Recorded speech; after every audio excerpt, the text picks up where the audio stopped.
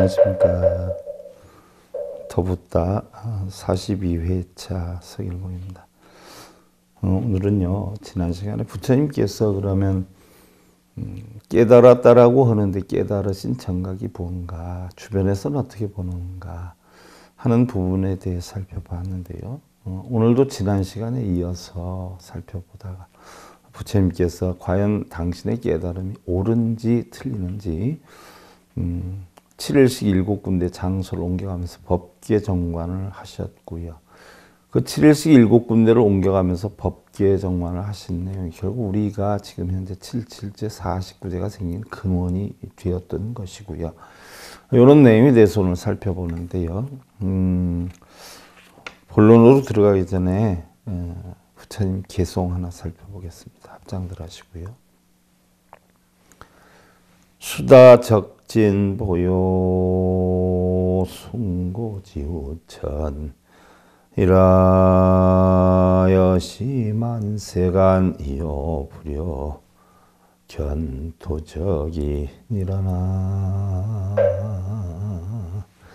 무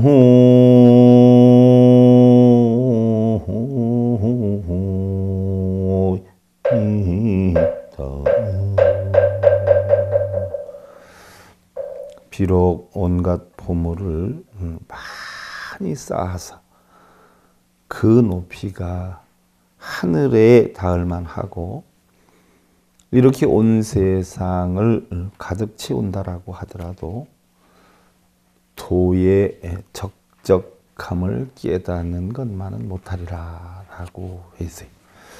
자, 그런 재산이나 재물을 산더미처럼 쌓으려고 하면 걱정이나 근심이나 고민은 산더미보다 더했을 거란 말이죠. 그러면 아, 우리가 걱정, 근심, 고민을 한다 해서 더 많이 쌓이는 건 아니죠. 물론 더 많이 쌓으려고 하는 지혜를 창출해 낼 수는 있다라고 할지라도 어, 결론적으로 지내고 보면 전부 내 것이 아니 되지요. 그리고 우리 욕심이라고 하는 것은 끝이 없잖아요. 부처님 말씀에 의하면 이 삼천대천 세계를 모두 준다라고 해도 우리 음, 사람들은 그 욕망이 끝이 없어서 음, 만족을 하지 못한다라고 했어요. 그러니까 우리는 더 많이 쌓고 모으고 명예를 갖고 깨달으려고 하는 마음까지도 전부 버린 상태에서 우리의 욕심은 끝이 없다라고 하는 이치를 터득하는 것이 바로 깨달음이다. 그래서 그런 이치를 터득해서 도의 적적함을 얻으리만 못하다라고 부처님께서 하신 말씀인데요. 자, 여러분들 어, 오늘은 교재를 한번 음, 열어보시는데 지난 시간에 과연 부처님이 깨달음이 무엇인가를 우리가 어, 되살펴보는 시간을 가졌단 말이죠. 그래서 2권 여러분들 31페이지 어, 부분을 보시면 지난 시간에 부처님께서 어, 인연과다라고 하는 것은 만일 하나의 공을 인이라 한다면 그것을 싹트게 하는 토양, 수분, 비료, 인력, 태양 등은 연이 되고 그것에 의해 형성되는 결실을 과라고 하는데 부처님 바로 이러한 인연의 법을 철저히 깨달으신 분이다라고 했는데 이런 인연과 법이 부처님의 깨달음으로 보면 천안통에 해당이 되는 것이지요. 그러니까 대부분 보면 콩 심은 데서 콩이 나고 팥 심은 데 팥이 나는데 우리 불자님들은 콩을 심어 놓고 어, 팥을 나기를 바라는 분들이 정말 많아요. 그래서 근심 걱정에서 벗어나지 못한다는 거죠. 제가 몇 번 비유를 들었지만 뭐 절을 열심히 하면 절을 잘하게 되고요. 독경을 열심히 하면 글을 잘 읽게 되고 또 여러분들이 얘기하는 사경 원래 사경의 뜻은 마음에 새긴다고 하는 것인데 여러분들은 뺏겨 쓰는 걸 사경이라고 합디다. 그러면 뺏겨 쓰다가 보면 글씨가 늘지 그걸 한다고 해서 남편 사업이 잘 되고 자식이 시험에 합격이 되고 하는 건 아니죠. 또 절을 많이 하면 절을 잘하게 되는 거지요. 뭐 절을 한다라고 해서 여러분들 원하는 소원 성취가 이루어지는 건 아니다는 이야기예요. 아, 저도 참 많이 했어요. 뭐 그전에는 기도하면 좋다라고 했고 연물 많이 하면 좋다라고 했고 철야 정진하면 좋다라고 했고 많이 했어요. 절도 뭐 아, 발등까지 다 뚜끈살 백일 정도로 했고 뭐 잠 안 자면서 철야 정진도 했고 뭐 했는데 결국은 그러한 것이 만들어 주는 게 아니라 내 자신의 어떤 노력이 나를 만들어 주더라 하는 것을 깨닫게 되었죠. 음. 그래서 부처님은 바로 그런 진리, 그런 이치, 그래서 법을 보는 자는 나를 보고 나를 보는 자는 즉 법을 보는 것이다 라고 지난 시간에 해있는데 또한 일체 법은 평등하다라고 했어요. 무슨 얘기예요? 아, 뭐 절을 많이 한다라고 해서 절을 많이 하는 사람 복 주고 절을 안 한다고 해서 안 하는 사람 복 주는 게 아니라 복을 받을 만한 원인을 만드는 사람한테는 복이 오는 것이고요. 복을 받을 만한 원인을 만들지 않은 사람에게는 복이 안 오는 거죠. 일여평등한 거예요. 그래서 바로 성도 없고 상도 없고 생도 없고 멸도 없고 본래가 청정하여 실온치 않으며 본래의 뭐 옳고 그름이 정해져 있는 게 아니라 다 뭐예요? 청정하다는 얘기예요. 청정한데 본래는 아무것도 없는데 어떠한 원인을 만드느냐에 따라서 어떠한 과가 오느냐가 결정이 되는 것이지 틀림없이 원인에 의한 결과가 일어난다는 이야기예요. 많이 심으면 많이 거두고요. 내가 많이 베풀면 많이 받는 것이고요. 내가 만인을 존경하면 나도 존경을 받는 거예요. 선지식 말씀에 그런 것이 있죠. 내가 하는 말이나 하는 행동에 대해서 다른 사람들이 알아주기를 바라지 말아라는 얘기. 왜 그러느냐? 나 역시도 다른 사람의 모든 것을 알아주지 않았기 때문에 알아주기를 바라는 그런 마음을 지닐 자격이 없다는 이야기예요. 여러분들 사랑받기를 원하지 않아. 그럼 과연 여러분들이 얼마나 많은 대상에게 많은 시간 동안 많은 정성을 들여서 사랑을 해 줬느냐를 한번 생각해 봐야 돼요. 받은 사람은 틀림없이 받은 만큼 줄 거란 말이죠. 우리가 시장에 가서 5만 원을 들고 가면 5만 원어치 사오는 거고 10만 원을 들고 가면 10만 원어치를 사오는 거지요. 내가 5만 원을 들고 가서 10만 원을 주기를 바라는 것도 문제가 있는 것이요. 내가 사랑이나 존경을 베풀지 않고 받으려고 하는 것도 문제가 있는 것이죠. 이게 바로 부처님의 인연과 법이에요. 세상의 모든 것은 주는 대로 받고 심는 대로 거두는 것이잖아요. 음. 그래서 취하지도 버리지도 않고 떠나 있다. 바로 꿈과 같고 또한 있다가도 없고 또한 없다가도 있는 것이 아닌 바로 유무불이인 까닭에 자 우리는 전부 이 청정한 모여 있고 없음이 어, 둘이 아니다. 어디에서 나와요? 한 마음에서 나와요. 근데 어떠한 원인을 만드는가에 따라서 불수자성 수연성이라 인연 따라 우리는 바뀌게 된단 말이죠. 그래서 모든 법은 평등하다. 예를 들어서 뭐 이쁘다고 더 많이 주고 밉다고 덜 주는 게 아니라 결국은 하늘이나 복이나 부처님이나 뭐예요? 본인이 원하는 음, 그 원인에 따라 결국은 결과가 이루어진다는 이야기죠. 그래서 모든 법이 평등하다는 것은 겉모양의 일과 이치를 말한 것이 아니고 그 바탕을 논한 것인데 바로 학다리는 길고 오리다리는 짧고 솔잎은 뾰족하고 연잎은 둥글지만 생명체 그 자체로 보면 둘이 아니다. 자, 여러분들 흔히들 유위와 무위에 대해서 혼동하는 사람들이 되게 많아요. 유위와 무위. 그러면 흔히들 뭐 무위의 깨달음을 얻었다. 아직은 뭐 유의하다. 유의는 달리 유루라 그러잖아요. 유루. 무루, 어, 무위는 무루라 그래요. 루자는 번뇌 루자를 쓰지 않아요. 그래서 이건 번뇌가 아직 남아 있는 거고 무루는 번뇌가 없는 거예요. 자, 아주 간단하게 설명을 할게요. 음. 소가 저기에 있어요. 그럼 그거는 뭐예요? 무위예요. 무위는 자연적인 조건을 무위라고 그래요. 유위는 뭐예요? 인위적인 조건을 유위라고 그래요. 소가 저렇게 있어요. 그러면 그건 뭐예요? 자연적인 조건이에요. 무위사상, 무위예요. 그런데 내가 끌고 오려고 어떻게 돼요? 소 뚜레를 깨고 끈을 매가지고 끌고 와요. 이거는 유위예요. 내가 노력을 해가지고 어떻게 돼요? 그 노력에 의한 대가가 저절로 이루어지는 거는 무의여요. 그런데 노력은 하지 않고 억지로 내가 이루려고 절하고 기도하고 염불하고 독경하는 건 유의여요. 인위적으로 만들려고 하는 거. 그래서 우리 불교에서는 무위의 깨우침을 얻으라고 그랬지 유위의 깨우침을 얻으라고는 안 했어요. 그래서 유위심이 바로 중생심이고 무위심이 바로 부처의 마음이에요.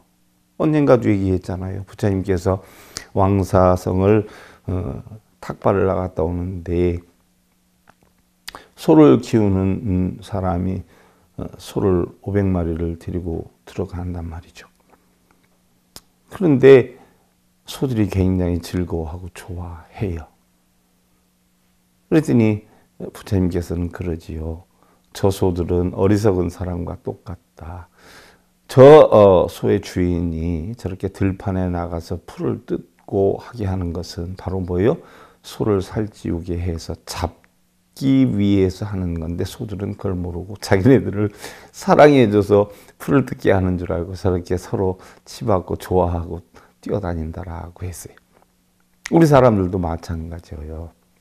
그래서 어리석은 사람은 그와 같다라고 했는데 그때 부처님이 뭐라 그랬어요? 어, 소가 500마리 소가 왕사성으로 돌아갔다. 이렇게 표현했어요. 그러면 500여 마리의 소가 왕사성으로 돌아갔다는 것은 뭐예요? 있는 그대로를 얘기했어요. 무위의 자연 사상이에요. 근데 아나는 뭐라라고 했어요? 그런데 그 소들은 어리석게도 자기네가 죽을 줄 모르고 그렇게 좋아했었다라고 얘기를 했어요. 그것은 뭐예요? 자연적이 아니라 인위적인 바로 아난의 생각이에요. 아난의 생각이 들어가 있는 건 중생성이고 있는 그대로를 보는 건 바로 불성이고 본성이에요. 그래서 우리 불교에서는 뭐예요? 있는 그대로를 보라고 자꾸 가르쳐요.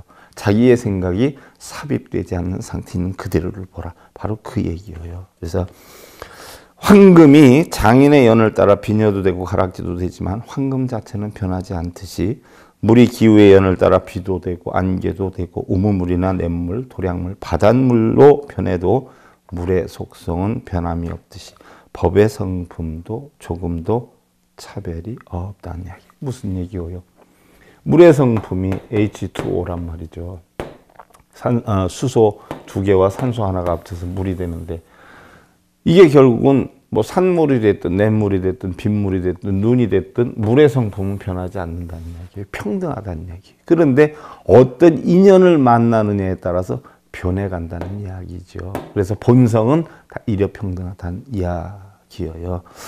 그와 같이 몸과 마음의 성품도 무지와 무명에서 벗어나 깨닫는 연을 만들면 바로 아만심은 겸허함으로 되고 불평불만은 감사와 고마움으로 전향이 되어서 바로 열애가 진여의 그 자체에서 오미 없이 오고 감이 없이 가게 되어서 왕래가 자유자재하고 천상천하 유화독전이 된다는 이야기. 세상의 모든 것은 자기 자신이 근본이 된다는 이야기죠. 그래서 깨닫고 깨닫지 못하면 불과 백지 한 장의 차이이지만 깨달은 자는 붓다가 되고 깨닫지 못한 자는 결국 범부가 되는 것이다. 이야기. 여러분들 예를 하나 들어서 똑같은 컵에 커피가 요만큼 담겨 있단 말이죠. 그럼 아이고 이제 얼마 없네 하는 사람이 있고 아직 많이 남았네 하는 사람이 있어요. 아, 신랑이 한 달에 봉급을 한 200만 원을 벌어왔어요. 그럼 아이고 이것도 돈이라고 벌어서 갖다 주냐 하는 사람이 있는가 하면 아휴 이 돈을 벌려고 얼마나 고생했겠느냐고 응? 돈이 적기는 하다만 어떻게 됐든 당신이 최선을 다해서 해왔으니까 제가 최고로 절약해서 한번 지내볼게요 하는 사람이 있어요. 똑같은 상황이라도 어떻게 보느냐에 따라서 우리는 부처가 되기도 하고 중생이 되기도 해요. 뭐 흔히들 뭐 우리는 뭐 부처가 되면 뭐 사람이 변하고 이상해지고 이렇게 되는 줄 알지만 아니에요. 단지 변하는 건 마음이 긍정적이고 포용력이고 합의적으로 변하게 되면 부처가 되는 것이고요. 부정적으로 보고 퇴폐적으로 보고 분별적으로 본다 보면 이것은 중생이 되는 것이요. 바로 우리가 상황을 바꿀 수는 없어요. 200만 원 봉급 벌어오는 신랑을 기도를 한다고 300만 원 벌어오거나 400만 원 벌어오거나 이러지 않아요. 물론 뭐 때가 되어서 뭐 봉급이 올라갈 정도가 된다면 오를 수는 있지만 기도를 하거나 연불 독경을 한다고 해서 변하는 건 아니에요. 그럼 뭘 바꿔야 되느냐? 그 돈을 바꿀 수는 없지만 내가 생각하는 마음을 내가 부정적이고 불만을 갖느냐 아니면 감사함을 느끼느냐에 따라 차이가 있는 거예요. 그래서 부처님 뭐요? 대상물을 바꾸거나 너를 바꾸려고 하지 말고 나 자신을 바꾸려고 해라 라고 항상 강조를 하신 거란 말이죠. 그래서 붓다는 인연 따라 이 세상이 어디에도 나타나지 않는 것이 없으면 없지요.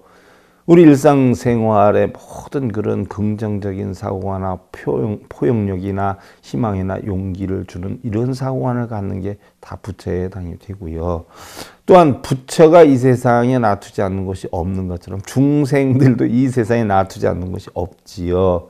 그래서 우리는 마음에 따라서 부처를 볼 수도 있지만 어, 깨달음의 우선 조건은 욕망을 비우고 한 마음을 청정하게 어, 만드는 데 있다는 이야기죠. 그래서 마음과 경계가 청정하면 자신의 실체를 바로 깨달을 수 있고요. 또 우주와 실상을 똑바로 볼 수 있기 때문인데 부처님은 열반을 증득하신 분이에요. 열반이다라고 하는 것은 항상 얘기했지만 니르바나 아니에요. 니르바나. 니르바나인데 어, 끈다 분다에 불어서 끄는데 뭘 불어서 끄는 거예요? 화를 불어서 끈다는 이야기예요. 부정적인 생각을 불어서 끈다는 이야기예요. 나에게 어떠한 어려움과 고통이 온다라고 하더라도 긍정적으로 받아들일 수 있는 마음을 지면 이걸 갖다 우리는 열반이다라고 하지요. 똑같은 일을 생겨도 부정적으로 받아들이는 사람은 항상 화가 끊이지 않아요. 어떤 집착에 빠져서 원칙을 정해서 자기 뜻대로 음, 되지 않다 보면 화를 내고 짜증을 내고 불만을 갖다 보니까 병도 생기게 되는 거. 얼굴이 맨날 그냥 울그락불락 지내게 되면 주변도 다 분위기 썰렁하니까 이상하게 이게 중생들의 삶. 이것이 바로 아, 부처님의 올바른 깨달음 정각의 내용이 곧 불교의 진리가 되는 것이다라고 했어요. 그러면 이제부터 본격적으로 여러분들 부처님의 어, 법계정관 33페이지죠. 2권. 아, 그럼 부처님이 법계정관이라는 것은요. 당신이 깨우친 법이 정말 옳은가 틀리는가를 바르게 어, 관하는 그런 시간을 가졌어요. 이게 이제 일주일씩 일곱 군데 장소를 옮겨가면서 가졌는데 그러면 당신이 그동안 깨달음에 이르기까지의 상황을 다시 한번 살펴봐요. 첫 번째는 사선정에 성취를 했죠. 내란자라 강변 필발 나 수나무 아래 앉아서 명상에 들었고요. 마침내 마구니를 항복받고는 욕망과 착하지 않은 일에서 떠난 기쁨에서 초선을 성취하고요. 자, 일반적으로 우리가 마군이다라고 하는 용어가 많이 나와요. 음, 마라파피아, 마라파순이다라고 하는데 욕계 육천의 타와 자재천 왕을 우리는 음, 마군이다라고 하지만 욕계 육천의 타와 자재천 왕이다라고 표현하면은 뭐 욕망의 세계로 형성이 된 결국 어 사천왕천에서부터 뭐 어, 도리천, 야마천, 도솔천, 뭐 화락천, 뭐 타화자재천 뭐 이렇게 음? 도솔천, 타화자재천 이렇게 얘기하지만 사실 보면 그 육천이라 하는 것은 전부 내 마음에 있는 거예요. 그래서 내 마음의 욕심의 세계를 바로 어, 마왕의 마군이다 이렇게 표현해요. 그래서 우리 불교에서 마군이다라고 하는 것은 자기 마음 속에 있는 어, 걱정, 근심, 번뇌, 탐진치 뭐 이런 걸 하고요. 그 다음에 우리가 이제 또 배우겠지만 부처님 법계정관에서 두 번째 주, 다섯 번째 주에 열반을 들려고 하셨어요. 일반 중생들은 욕망에서 벗어나지를 못하기 때문에 내가 아무리 전달을 해준다라고 해도 깨우침을 얻기가 힘이 들겠구나. 차라리 내가 열반에 들어야 되겠다라고 했을 때 범천 제석천왕이 말려가지고 중생들의 근기가 다 다르니까 부처님이 해주시다 보면 근기에 따라서 깨우치는 사람도 있고 아니면 이 다음에 깨우칠 사람도 있으니까 포기하지 말고 해주셔야 되지 않겠냐라고 해서 부처님이 결국은 화엄경을 어, 3주차에 다 강의를 했다가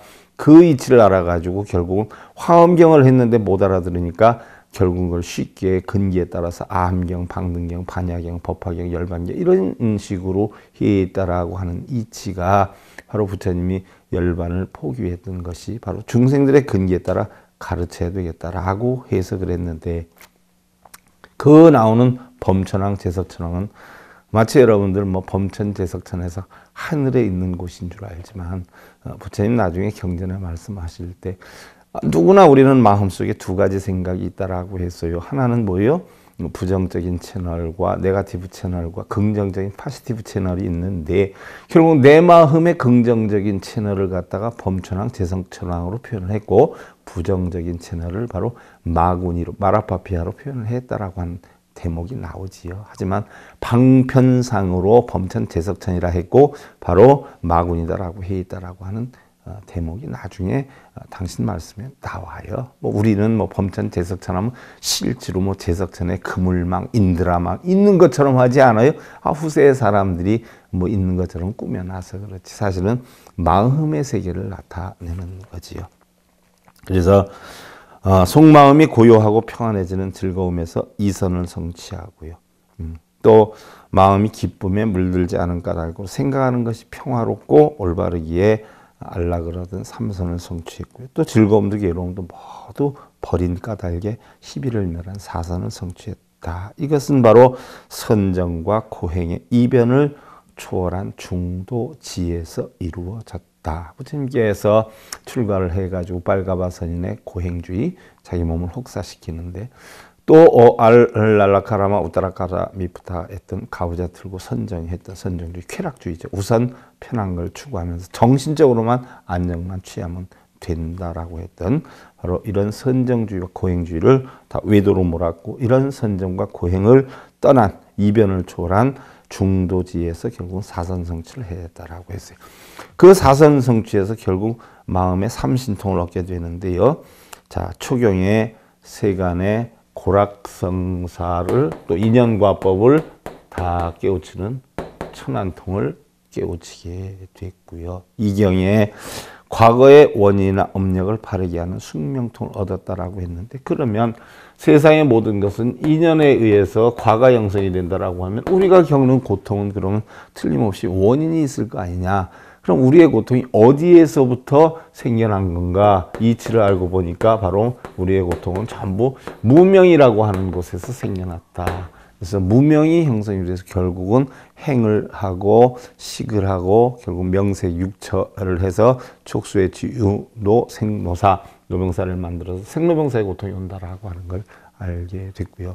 그 다음에 어 바로 삼경에 그러면 이런 고통을 어떻게 해서 없애야 되느냐 하는 걸 깨달은 것이 결국 무명을 깨뜨리면 지혜만 얻으면 우리는 결국 번뇌가 다 없어진다 해서 어, 번뇌루자 어, 다할 진짜에서 번뇌가 싹 없어지는 그런 깨달음을 얻었다 해서 지혜 열반을 뜻하게 됐죠. 그래서 바로 부처님은 이걸 통해서 무상의 대도를 더 이상 높은 것이 없는 커다란 도를 얻었다라고 하는데 결국은 이 누진 통해서 결국은 지혜를 터득한 것이 사성제 8정도 12년법이란 말이죠. 그럼 사성제 8정도 12년법이다라고 하면 사성제 바로 고집멸도가 우리의 모든 고통은 집착 때문에 온다는 이야기예요. 그러면 모든 고통은 문명해서 결국 온다는 얘기. 이것이 12연기법의 순간이고 그럼 이걸 어떻게 없애야 되느냐? 그래서 멸도 없애려면 도를 이루어야 된다. 무슨 도를 이루어야 되느냐? 8정도를 이루어야 된다는 이치를 알게 되죠. 이것을 12년법으로 역설적으로 한 것을 우리는 역관이다 이렇게 표현하죠. 그래서 부처님께서 깨달으신 진리의 경계는 결국 모든 번뇌를 불었고 니르바나 즉 열반의 경계에 달하고 했어요. 그래서 부처님께서 깨달으신 진리는 바로 인과 연의 결합으로서 과를 발생시킨다라고 하는 연기법이다. 그래서 아, 부처님의 깨달음이 뭐냐라고 하면 한마디로 얘기하면 연기법이요. 그 연기법 이치가 화엄경에서도 실상론, 현상론으로 나오지 않아요. 화엄경 전체 이치는 아주 간단해요. 연기론에 의한 거예요. 근데 뭐가 그렇게 복잡한지 모르겠어요. 음, 뭘 그렇게 복잡하게 전하는지. 그냥 연기론, 연기법. 이거 하나만 이치만 가르쳐 주면 30분이면 깨닫는데 30년을 해도 못 깨닫는 건 뭐예요? 깨닫는 법을 바르게 가르쳐 주질 못해서 그래요.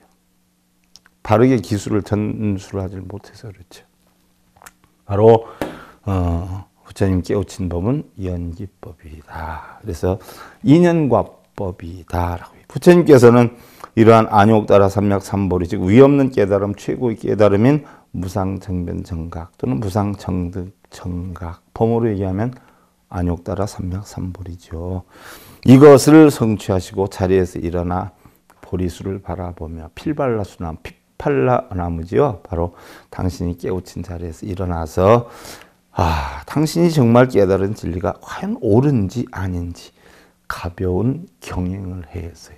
그래서 부처님 전달법이 뭐요? 가르침의 전환법 경행법이잖아요. 경행법, 연기법, 경행법. 그래서 관수 경행 나무를 바라보면서 필발라 자기 깨달음을 얻은 나무를 바라보면서 가벼이 어, 걸음을 걷죠. 그러면서 49일 동안 장소를 옮겨가요. 그 자기 깨달으신 장소에서 장소를 음, 7일씩 일곱 군데를 옮겨가죠. 깨달으신 자리가 뭐 핏발라수 나무가 뭐 여기 있다라고 하면 그 앞자리로 갔다가 뭐 옆자리로 갔다가 저 윗자리로 갔다 아랫자리로 갔다 일곱 군데씩 자리를 옮겨가면서 결국은 어, 법 개정관을 하게 되죠. 그래서 일곱 군데씩 일곱 군데를 어, 7일씩 해서 결국 당신 나중에 깨달음을 얻었다라고 선포한 게 49일째 되는 날 내가 깨달은 게 확실해 하고 선포를 해서 녹야원으로 가게 됐는데 바로 일곱 군데로 7일씩 했다라고 하면 우리도 어, 죽으면 영원히 어, 중음신으로 있다 49일째 되는 날 정해진다라고 하는 설화, 설화가 여기서 만들어졌어요. 그래서 여러분들 7일째가 여기서 만들어졌는데 뭐 그래요.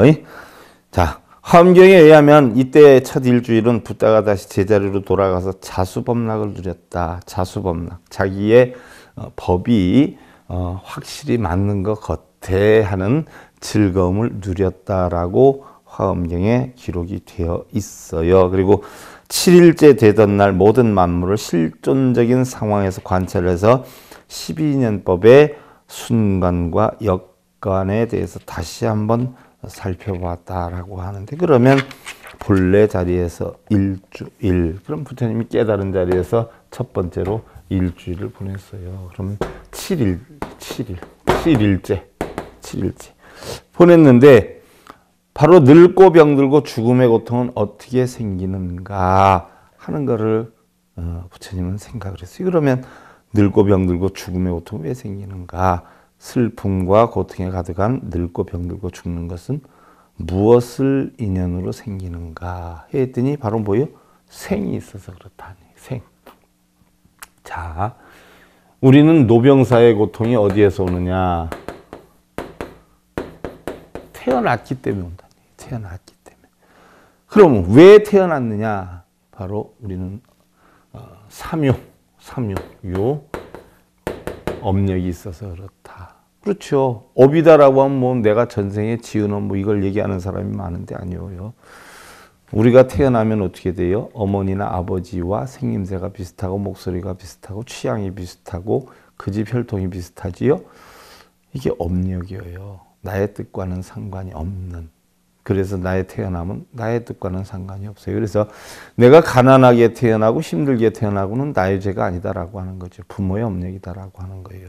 그런데 내가 현재 가난하게 살고 가난하게 살다가 죽어간다는 것은 부모의 죄업이 아니라 나의 죄업이에요. 나의 죄업. 내가 그렇게 원인을 만들어서 그런 결과를 받는 거예요. 그러니까 부모 탓할 게 하나도 없는 거예요. 부모는 태어날 때까지만 부모의 책임이고요. 태어나서부터는 뭐예요? 내가 만들어 가야 되는 거예요. 어떻게 됐든 부모와 목소리가 유전인자가 같은 거 이런 거는 업이어요. 삼유에 해당이 돼요. 그러면 자, 여러분들 기도한다고 생김새 바꿀 수 있어요. 유전인자를 바꿀 수 있어요. DNA를 바꿀 수 있어요. 뭘 바꿀 수 있어? 목소리를 바꿀 수 있어. 맨날 전생에 업 때문에 그렇다고 기도하라, 천도재 하라. 바꿀 수 있어요? 바꿀 수 있는 사람 바꿔봐. 내가 재주가 없어서 난 그런 거 못하겠더라고. 나는 뭐 우리 불자님들 원성취하게 해준다고 천도제, 어, 천도제에서 원성취 해주는 기도, 어, 나는 그런 재주는 없어요. 기도해서 또 소원성취 시켜주는 재주는 내가 없어. 내가 그런 건 음, 능력이 없어요. 다른 분들은 능력이 많은가 봐. 어떤 보살님은 그러대요. 자기 아들이 예, 한때는 잘 나갔는데 요즘은 힘들다고. 그래서 스님 기도 좀 해서 원상복귀 좀 시켜달라고. 그래서 제가 못하겠는데 이랬더니 아, 자기가 다니는 절에서는 뭐 유명 종단의 가장 유명 사찰이에요. 스님들이 다 그거 해줄 수 있다고 응? 하라고 그래서 많이 했는데요. 그러면 해서 됩니까? 아니 다 기도를 하면 전파가 된다 그러던데 그럼 거기서 해달라고 하세요. 난 못하니까 나는 그런 거 재주가 없어요. 부사님 난 못하니까 거기서 해달라 그러세요. 내가 그러고 말았는데 난 그런 재주가 없어요. 여러분들 기도해서 원성치 시켜준다거나 천도제를 해가지고 뭐 지는 재판 이기게 해준다거나 뭐 재판 뭐 이기게 뭘 해달라고 하는 사람 참 많대. 그래서 그 이기겠느냐 지겠느냐 물어보던데 아 제가 그거 알면 왜 중을 하겠어요. 법조인을 하지. 그런 능력이 저한테는 없어요. 여러분들. 음. 그래서 바로 태어나는 건 유라고 하는 것이 태어났어요. 그러면 유는 왜 생겼느냐? 취에서 생겼어요. 취. 취. 뭐 남편이 아내를 사랑해서 집에다가 갖다 앉혀놓는 게 유잖아요. 데리고 오는 게 취란 말이에요. 그러면 취는 왜 생겼느냐는 얘기예요. 사랑하니까 데려온단 말이에요. 사랑하니까. 애, 애가 만들어요. 그럼 애는 왜 생겼어요? 바로 사랑의 근본 작용인 감수 작용의 수가 만들었죠. 수가, 수가. 수는 왜 만들었어요? 그러면 수는 촉이 만들었어요. 그럼 촉이 왜 만들어졌어요? 촉은 바로 뭐예요? 여섯 개의 작용이 만지고 싶고 만나고 싶고 뭐 이러다 보니까 만들어졌어요. 그래서 육처가 만들었어요. 그럼 육처는 왜 만들었어요? 이거는 명색이 만들었잖아요. 색수상 행식이. 그럼 명색은 누가 만들었어요? 행이 만들었어요. 행은 그럼 누가 만들었어요? 문명하기 때문에 행을 한단 말이에요. 그러니까 노병사가 왜 오는가 생각해 봤더니 태어나서 왔고, 왜 태어났느냐? 유가 있어서 태어났고, 유는 취가 있어서 태어났고, 취는 애가 있어서 생겼고, 애는 수가 있어서 생겼고, 수는 촉이 있어서 생겼고, 촉은 육처가 있어서 생겼고, 육처는 명색이 있어서 생겼고, 바로 명색은 뭐예요? 행이 있어서 생겼고, 행은 뭐예요? 문명이 있어서 생겼다는 얘기. 바로 이 이치를 갖다 결국 우리는 노병사는 결국 무명에 의해서 생겼다라고 하는 것이 우리는 어, 결국 알게 된 거죠. 다시 말해서 어떻게 돼요? 무명이 행을 만들고 행이 명색을 만들고 명색이 어, 바로 뭐예요? 어, 식을 육처를 만들고 음, 식 여기 식이 들어가네. 무명행 식 음, 행 식을 만들고 식이 명색을 만들고 명색이 육처를 만들고 육처가 촉을 만들고 촉이 수를 만들고 수가 애를 만들고 애가 취를 만들고 취가 유를 만들고 유가 생을 만들어서 결국 태어났기 때문에 노병사가 온다 하는 이야기예요. 그래서 이게 바로 순관이고 그러면 이걸 어떻게 없애야 되느냐? 무명을 없애니까 무명을 없애니까 행이 없어지고 식이 없어지고 명색이 없어지고 육처가 없어지고 촉수 애취 유생 노병사가 없어지더라. 이게 12연기법의 역관이 되는 거죠. 그래서 첫째 주에 이거를 부처님이 다시 한번 생각을 해본 거예요. 이 인연법은 현상 세계가 생겨나는 원인 결과의 구명이고 또한 깨달은 안목에 의해 보여진 모든 현상의 법다운 모습을 관찰한 것이다 라고 할 수가 있다. 이 12연기법을 시간적인 입장에서 다시 한번 살펴보면 무명과 행은 과거의 인을 만들어요. 과거의 인. 그 다음에 식, 명색, 육처, 촉수까지는 현재 과예요.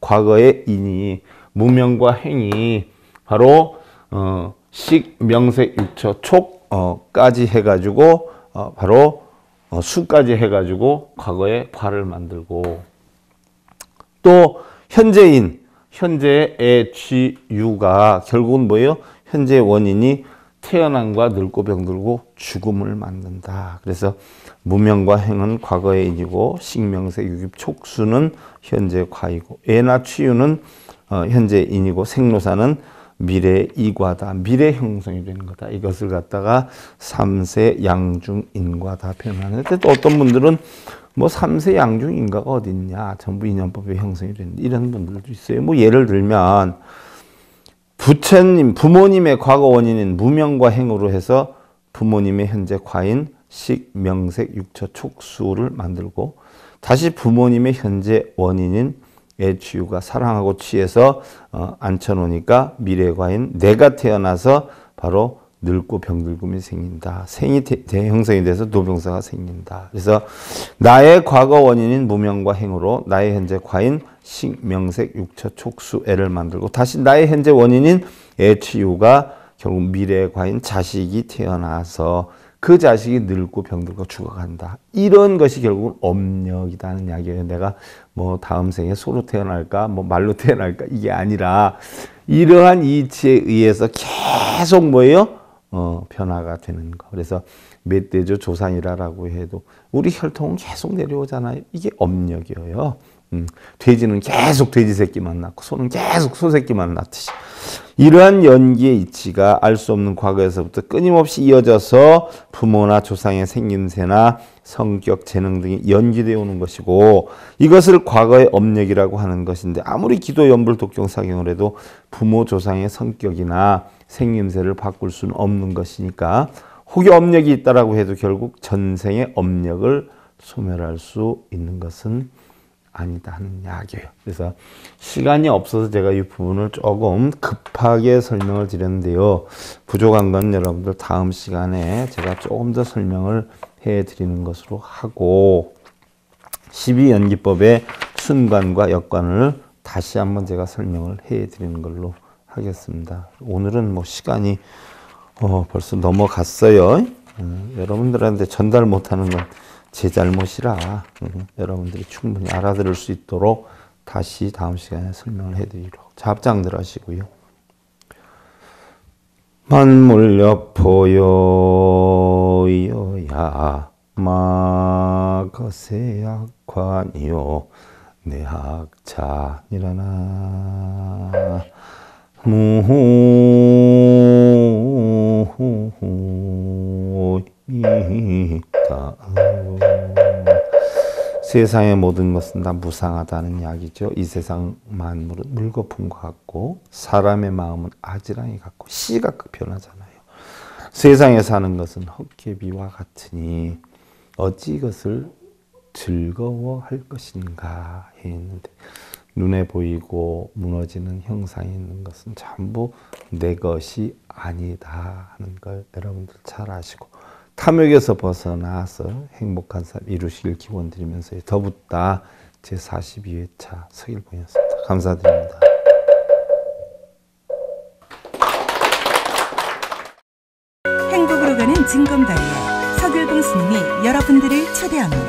SIB 불교교육대학에서는 더 붙다 생활 속의 천수경 달마대사 성관법 현대생활 불교 법요지. 불교학 개론. 성찰스님 백일 법문 등을 비롯한 다른 불법, 다른 진리. 서길봉 스님의 SIB 불교 교육대학